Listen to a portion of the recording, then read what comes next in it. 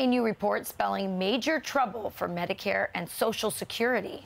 Experts say the two programs are underfunded by a huge number $175 trillion. That's almost two times the entire world's economic output.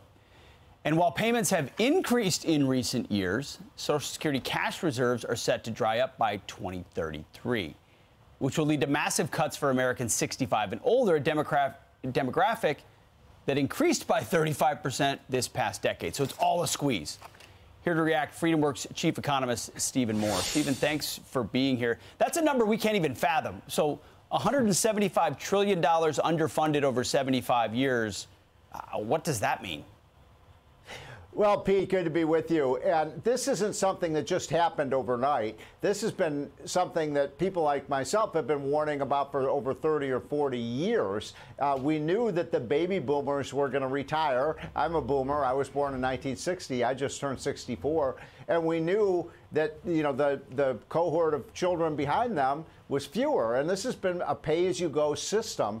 And here's the thing. I, yes, these problems have huge financial problems, but for somebody like me and, and somebody who's in their 60s or 70s, to, to say we're going to cut your Social Security benefits, I think, Pete, is unfair. I mean, I paid into this system every paycheck I got since I was 18 years old, 12% of my paycheck, and I'm getting a lousy, you know, $2,000 a month benefit come on if i had if we had put that money into a 401k plan which is something i've always favored i wouldn't be getting $2000 a month. I'd getting $10000 a month and i'd be able to say you know give my grandkids and kids a million dollars in benefits. So no we shouldn't be cutting benefits. Now how did we get into this crisis pete it's because Congress has been stealing the money mm. from hmm. Social Security and spending it on other, other, on other programs. Rachel, if, if you did that in the private sector and then you stole money from a pension fund, they'd throw you in jail.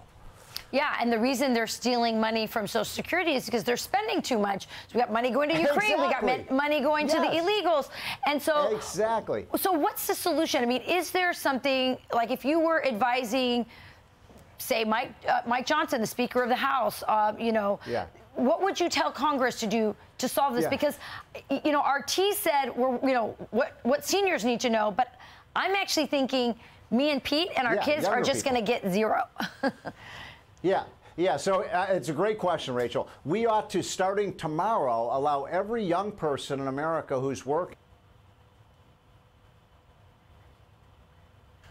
Oh, come Ooh. on. Just when he was going to give us the answer. We ought to allow every young person who's working to do. Uh, what? We don't know. We're going to have him back because I'm telling you, I want to know the answer to that. I would also That's love a big to. Tease. I've long wanted to opt out of Social Security. Me too. You know, it's actually a voluntary program.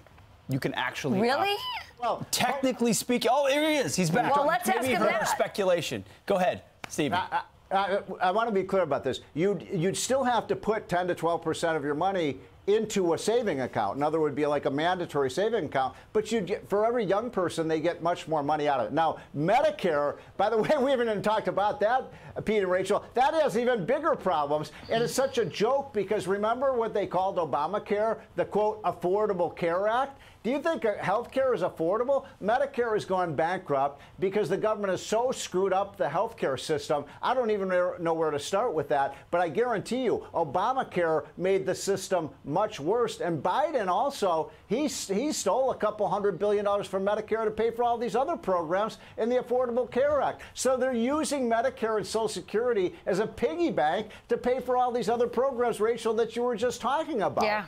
You know what I think? I think we could solve Medicare by getting Americans healthy. And one of the things that I think yes. members of Congress should work on is talking about our food supply, GMOs, getting rid of all, you know, stop subsidizing, stop set, stop setting, uh, uh, subsidizing ultra processed foods. We can we can get healthy and solve that problem to some degree. But big pharma and big food want us sick, and it ends up costing us a lot of money. Um, so yeah. that's my that's my thought there. I'm but. okay with that, Rachel, as long as you don't take ice cream away from me. That, I'm no, fine. But, natural ice cream. I just had some last night. I made some at home. I like synthetic ice cream. It's I really know. good. I I'm Steve Doocy. I'm Brian Kilmeade. And I'm Ainsley Earhardt. And click here to subscribe to the Fox News YouTube page to catch our hottest interviews and most compelling analysis.